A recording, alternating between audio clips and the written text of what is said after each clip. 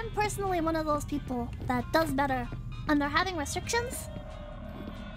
Because I'm very bad at knowing when to stop with things. And I'm also, uh... I'm better at, like, putting together a puzzle versus, like, making a puzzle entirely on my own, if that makes sense. Like...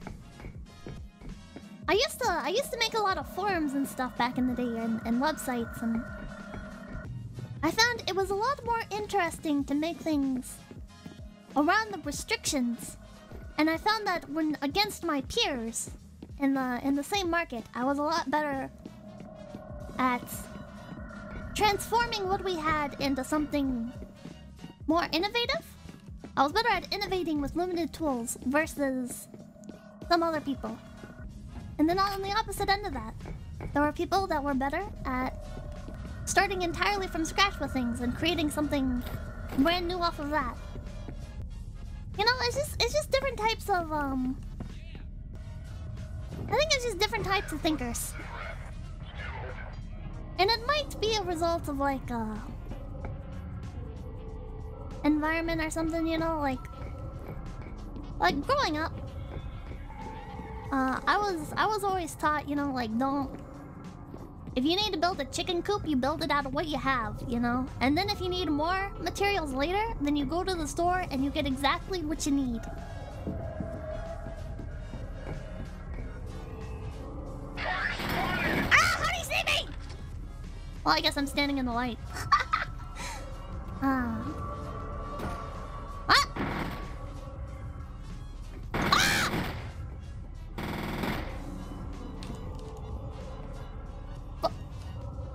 My god.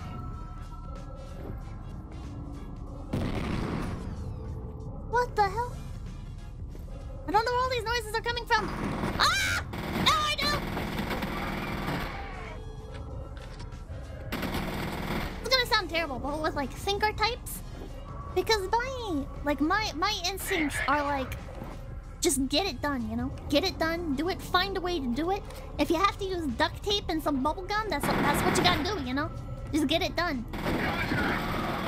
And that leads to some like pretty bad quality sometimes.